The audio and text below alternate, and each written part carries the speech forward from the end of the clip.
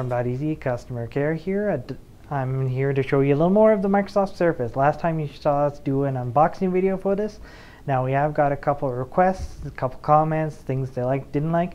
One of the big ones we saw was actually for the mail program. Now for the mail program, the main reason why we're showing you this is a couple different reasons. One of them is uh, of course offers mail to all of our clients. But the main thing was also that a lot of people said they couldn't find one of these or any walkthroughs for this which is why we thought, hey, we're going to help you out and we're going to show this. That's why we're here today. So we're getting back here with the Microsoft Surface. We're going to be walking you through how to set up an IMAP account, which a lot of people like, especially for business-wise. And for those of you who are on tablet device, generally a little more preferable to POP, because that way everything is synchronized with any other computer, phone, any other device you've got, which is great. And we do offer IMAP, so it is there if you want it. So we're going to be showing you how to set this up now. So for this one here, we've already got it set up to the basic UI for the RT. Those of you who, are, again, have a Surface familiar with this or getting still used to it, we know ourselves here, we're still getting a little bit used to it. Now, for the way we set this up, we do have the mail icon right here, so it is easy to find. It is going to look fairly similar unless you've changed your color scheme, but it's still the same icon. So you just want to click on this to start out here. It's going to take a little bit to load up. It does need to synchronize and connect and do all this lovely goodness here. Now, just while we are waiting for this to load up, we're going to warn you ahead of time. Now, we've already set up an account this before, so it's going to look a little different than those of you who've come here for the first time. Now, notably, if you come in here for your second time, you're going to get these options down the side here. If you're coming for the first time, you're actually going to get something across the middle here, which is going to ask you whether you want to set up IMAP, POP, or Exchange. Now, we found a little bug with this first time we went through, which was kind of funny actually when we looked at it. If you select POP, IMAP, or Exchange Server, it doesn't actually deselect the radio button, letting you select multiple ones. When we tried that, it actually crashed and brought us back to the UI. Then when we came in here, it brought us back to this screen. So for those of you who get that experience, you may get this. You can always just click the Windows button, go to the main screen, come back, and you'll get right back here. Or you can go through and set up the account. It's your real choice. There's no harm with doing either. Now for this one here, you're going to see, of course, because it is a Surface, it's going to show you Hotmail first, Outlook second. It's also got Google and AOL, surprisingly enough. To be honest, I thought they would have put something else in there, but not to worry, anything else. Now, if you're setting up any other type of account, like we are here, or for your domain or anything, you're going to want to go to this one in the bottom left corner, View All in Settings. Now you're going to see this show up on the other side instead. It's going to show the same settings except for the major other one we're seeing, which is other accounts. Any of you who are setting up any email for your domains, this is the one you want to go and go to. So we're going to click on that here. Now, one of the other fun bugs we found here is where it asks for email address and password. It doesn't seem to like just entering those two. So you do need to make sure you click on where it says show more details right here. It is very, very important because otherwise it can crash and go back to the main screen which of course we saw, and I'm having trouble clicking this apparently.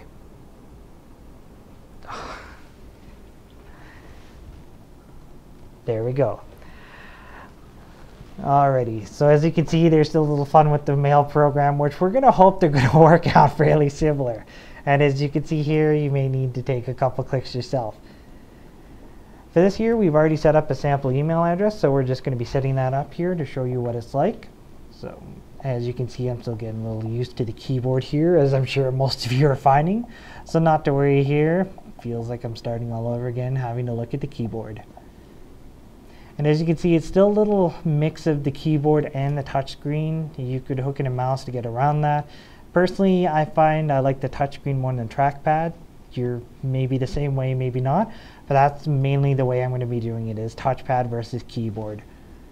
Now the email address for those of you who are at Doteasy are going to be using the exact same thing here except instead of this at symbol which we just typed in you're going to need to use a plus symbol for IMAP because that's the way the servers like it. If you use the at symbol you may get away with it but most of the servers in the network settings including your router settings are going to be a little more picky and be looking for that plus symbol.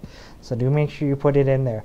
Otherwise it's going to be exactly the same as your email address now I want to put in the password. Now do remember that you want to keep your password secure. So that's why we're just using a demo here. Make sure you do keep it in there. Now you can choose to remember, you can choose not to, that's up to you. It's actually set to remember everything by default. It's not a problem really because it's a new device so it shouldn't be any problems with any kind of security yet, so we should be safe with that. Now, cases, of course, important, so make sure you do put it in exactly as it's supposed to be. Now, in terms of the incoming and the outgoing server, this, unless you've written this down a lot, you've done a lot of business or anything, you're probably not going to know what this is.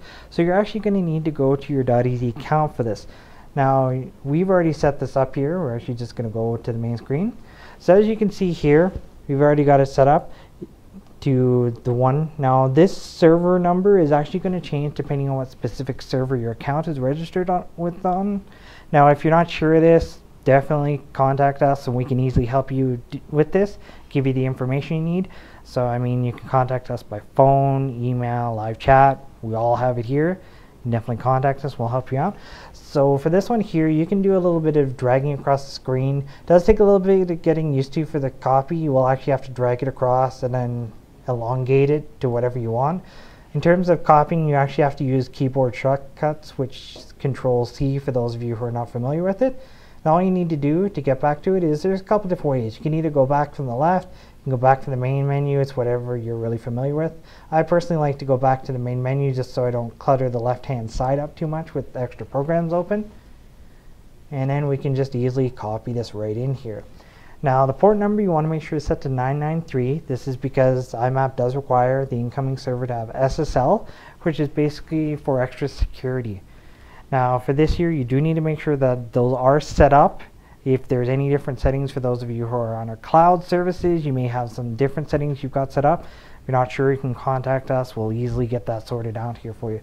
Now, because we like to keep things simple here at Doteasy, we keep it as the exact same thing for the incoming and the outgoing server. The only difference you're going to see between these two is the port numbers.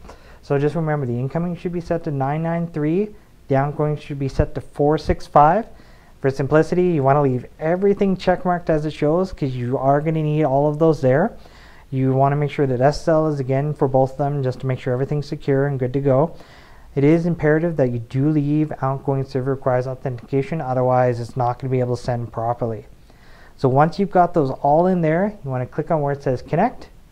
It's going to say it's adding your account. Should just take a quick couple minutes. As you can see, it's already here.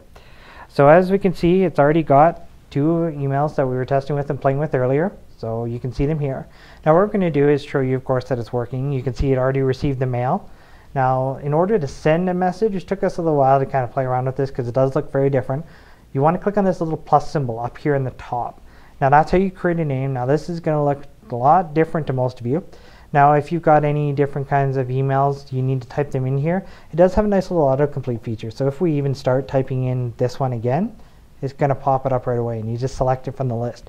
You can select additional emails and everything else so you do have all the things.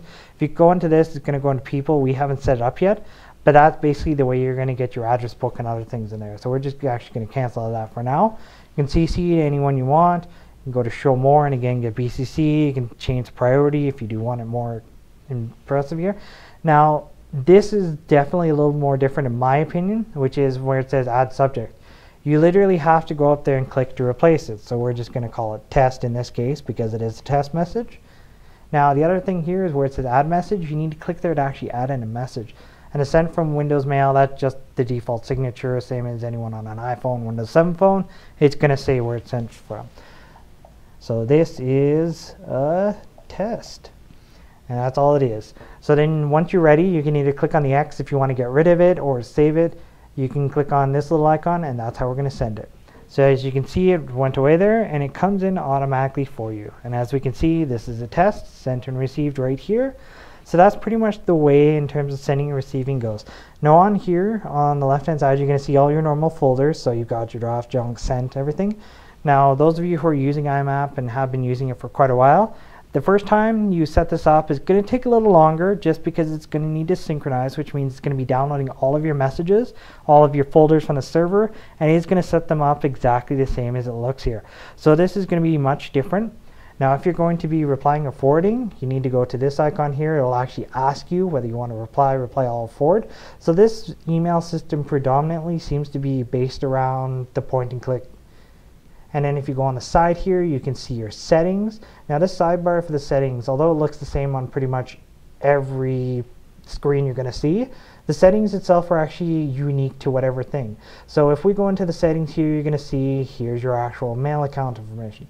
So if you need to change your settings at any point, you can just go into accounts here. You're going to see your account or you can add another account. So if you're going to set up multiple accounts, this is the way you can do it.